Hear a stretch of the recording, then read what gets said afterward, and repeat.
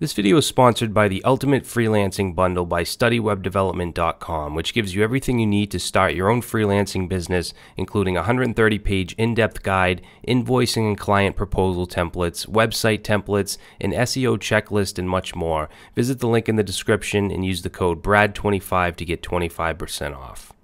Hey, what's going on guys? So it is Saturday morning and I just wanted to do kind of uh, just a light video. I just got back from vacation with my family. We went up to New Hampshire for a couple days and uh, yeah, I needed a break. And anyone that's working 10, 12 hours a day, I would suggest taking a, a little break if possible.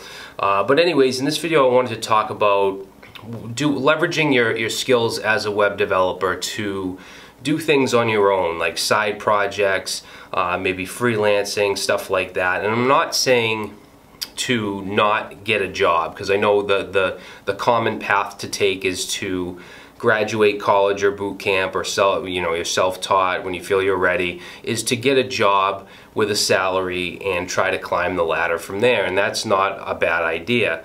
But what I'm trying to get across in this video is just thinking about doing some things on your own as well. Um, or if starting your own business is what you want to do as opposed to the job, that's, that's, you know, that's great as well. Um, it's completely up to you. Everybody's circumstances are different. Everybody's wants and needs are different.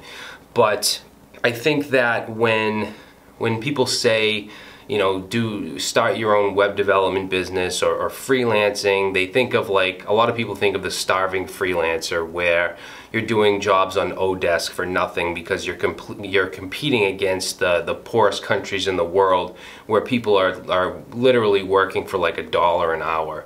And it seems like a, recipe for failure and you often hear the term race to the bottom. But there is there can be success with sites like Upwork.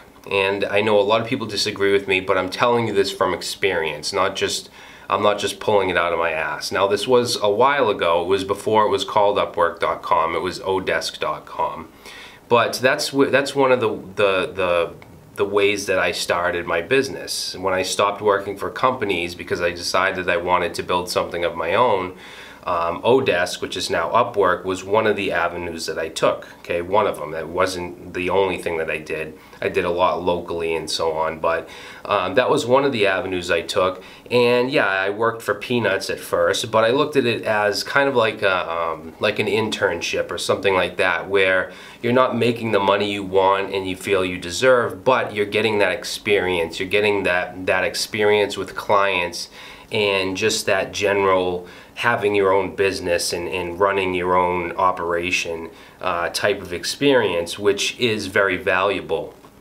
And then once you rack up um, some really good ratings and reviews, then people will start to pay more for your services because they'll, they'll see that your past clients are very happy with, with your work.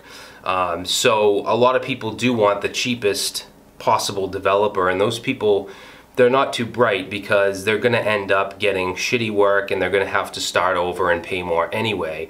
And there are people that realize that that don't want the cheapest developer. They want someone that's going to be competent, that's going to get the job done, give them high quality, have good communication, and it's just common sense that you have to pay for that. You get what you pay for. So I was able to up my price, my, my fee on sites like Upwork, and I would get it. I would get, get it, and it opened up a lot of doors for me.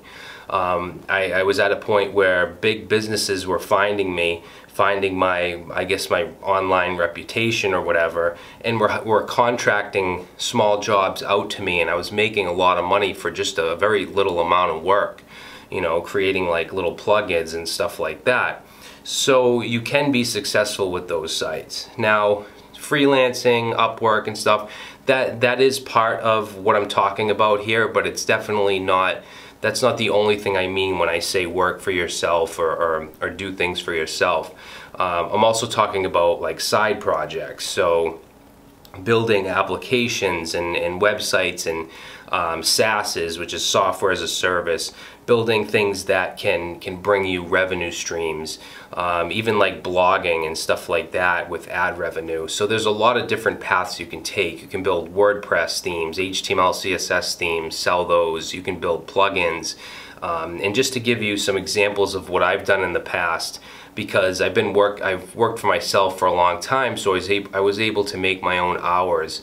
And I was able to do like extra things on the side and, and one of those things was a little platform I built in just vanilla PHP where I could sell downloadable content and I would sell these PLR articles which are basically like copyright free articles uh, and other content that um, you can do what you want with. You can give them away, you can sell them, whatever you want. And I, I, scoured the internet for these packages and I ended up with almost a million of these articles. And I, what I would do is sell uh, categorized packages of like 20,000 for like seven or eight dollars so very cheap and people could use them in their newsletters and stuff like that on their websites there is a of course a duplicate content issue with Google and stuff like that but they could use them in these different areas and people would pay a couple dollars for these packages and I'd make like a hundred bucks a day. Now that doesn't seem like a ton of money, but it was all passive income.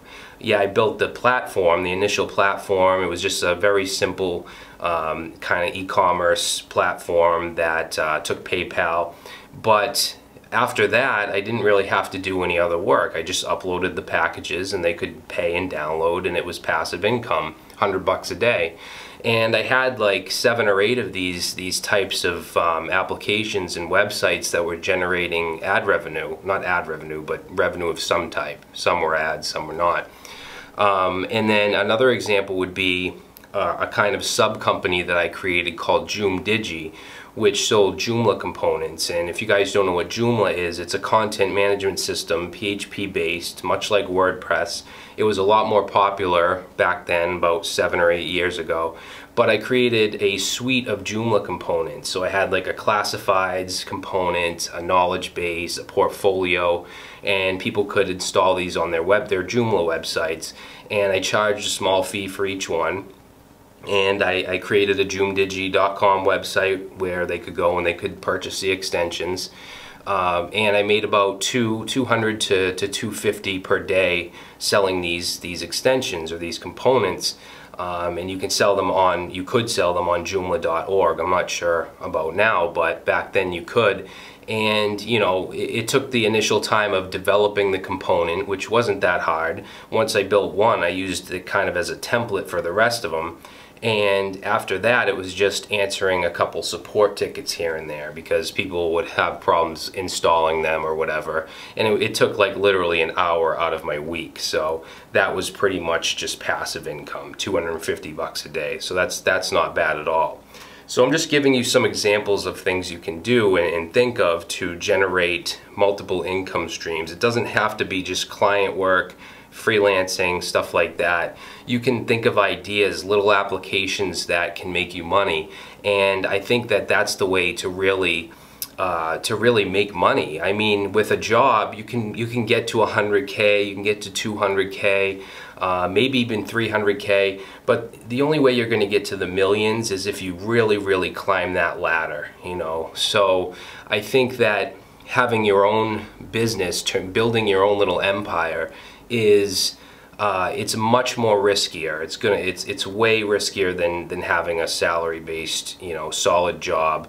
Um, but you know I think it can pay off. And I'm not saying go go quit your job or change your plans and not get a job, but it's just something to think about. That's that's the point of any video like this that I create. It's just me sharing my opinions, thoughts, and experiences so you guys can have something to think about um, because I think that it's at least for me. I I don't like working for companies. I never did. Um, even if it was something I liked doing, because I felt like I was putting all my, my, my energy and time into building someone else up, someone else's company as opposed to my own. And if you look at like, you know, Jeff Bezos and Bill Gates and all the, the, the big players of the world, they they didn't bust their ass to build up someone else's company. They created their own products. And I'm not saying that me or, or you guys or anyone, we're, we're going to build a, Microsoft or an Amazon, but we might build something on a lower level that can make more than just a, a regular job at someone else's company. Um, so me, I took the education route. I sold off all those assets that I, that I was just talking about, and I invested everything into education and creating courses. This YouTube channel, this is my this is my thing, and this is another avenue that you guys could take if if possible. You could create courses and and learning products, stuff like that. You know, maybe even create like a code academy or an interactive uh, learning site. That's another option. There's just there's a lot of things you guys can do to leverage your skills as as a developer. Um, so you know I, have mentioned this before, but I got a job offer from Google this year that I rejected, and, and a lot of people don't understand why, and some people even got angry because that's like the dream job of a developer. How how could you reject that? But it's not what I want to do. Uh, it's not my dream job. You know, I don't. I, I love what I do because I get to help people, um, and I couldn't do that doing anything else. I wouldn't have the reach. And when I get emails from people saying that you know I've helped them get get jobs, I've helped them out of poverty, I've helped with their depression, like that means the world to me, and that that makes this worth it, even if I wasn't making the money that I am. And when we talk about money and, and, and the financial aspect of it, I make more now than I would at Google. You know, and, and I'm much I'm, I'm more proud of that because it's something I built from the ground up. So it gives you that satisfaction when you work for yourself. Um, but again, you know, get your job, but on the side, try to try and build some whatever you want to do, whatever type of of applications you want to build or if you want to do client work on the side, whatever it may be. But I'm just saying you don't have to stick to just that, that one job. You know, and, and of course it's going to take time. It's going to take a lot of work, uh, a lot of passion and energy, but you can get there. And don't think because you're not a business major or anything like that that you can't do it. Um, I, I came from nothing. 12 years ago, I had a life of addiction. Of, of I was I was poor. I was in a, just a, a, bad mental state, severe anxiety, depression, social anxiety, which is stuff I all still I have today as well. But I've, I've managed it, I've got it under control, so uh, I'm just in a much better place. So don't think because of where you're at today that you can't get to where you would really like to be because it is possible. Um, if I can do it, anybody can do it, trust me. So just something to think about, guys. I, I don't want to keep ranting on and on about this, um, but you know, just just uh, look uh, look look up some some ideas. You know, maybe I'll do a video with some ideas that you can do or stuff that you can create to kind of leverage your skills and and you know create a little side income for yourself. Uh, but that's it, guys. Thanks for watching, and I will see you in the next one. Hey guys, one of the best, if not the best resource I can refer you to for starting a freelance business is at studywebdevelopment.com slash freelancing. The creator Kyle shared it with me and I can personally vouch that this bundle is well worth it. You get a 130 page guide to freelancing and it comes with things like invoice templates, client proposals, HTML and CSS templates, a portfolio website, access to a private Facebook community, and much more. So use the code BRAD25 to get 25% off today.